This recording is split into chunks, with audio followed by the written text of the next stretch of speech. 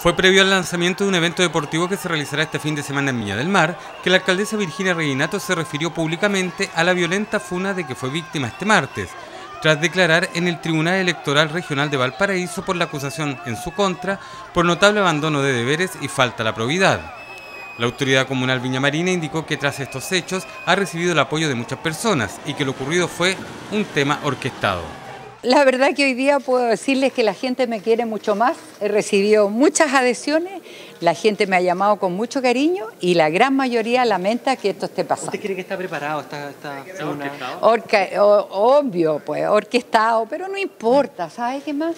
Yo creo que eso a mí no me afecta. Yo tengo que trabajar, eso es lo que me gusta. Yo trabajo por esta ciudad y para eso me eligieron. ¿Alguno de los concejales acusadores la llamó para enseñarle su solidaridad? No, por supuesto que no. no. ¿Le habría gustado que le hubiesen llamado? Mira, yo funciono sola y muy tranquila.